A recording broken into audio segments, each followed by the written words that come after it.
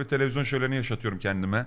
Bayağıdır televizyon izlememiştim. Eminim ki bu akşam televizyon izleyen bayağı insan olmuştur diye düşünüyorum. Ben izlememiştim.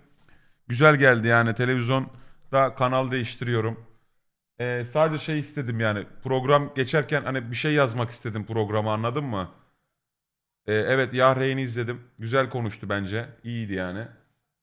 Ee, böyle bir mesaj atasım geldi. Hani alttan eskiden fax olurdu.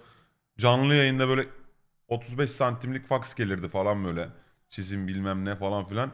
Çok iyiydi ya. Bu yayın meme var mı ona göre katılacağım. Kardeşim memeden dolayı banlandık kardeşim. Evet. Ama benim burada birazcık biraz buruğum. Çünkü yani orada gösterdiğimiz meme görmeyen yoktu yani. Herkesin gördüğü bildiği bir meme yani bu anladın mı? Yeni bir meme değil yani sonuçta. Tüm Orta Doğu'nun, tüm Balkanların, tüm Avrupa'nın, tüm dünyanın gördüğü bir memeydi yani bu. Bu kadar büyütülmeye gerek var mıydı bir gün kadar? Olsun. Ne oldu? Dün, ban- bana da şey gelmiş. Sen iyi ki bana... Arkadaki ışık mı değişiyor? Benim gözüm mü bozuluyor amına koyayım? Ne oluyor şu anda?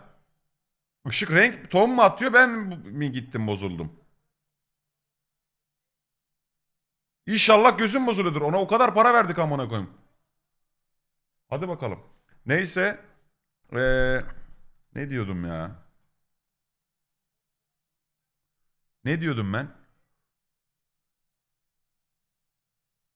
Kamera bozuldu. Kamera bo Yok abi ben gözüm bozulsun. Kameraya çok bağlı. Hani önceliğim gözümün bozulması. ışıkların bozulması en son kameranın bozulması. Yalanları anlatıyordum ha. Yalanları anlatıyordum. Dün banlanmasaydım işte direkt yayın açacaktım mesela.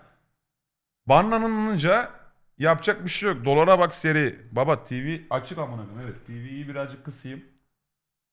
TV açık bir yandan maça da takip iç- içerisindeyim. Got the mojo deal, we been trippin' like 80 Put it out the coupe at the lot.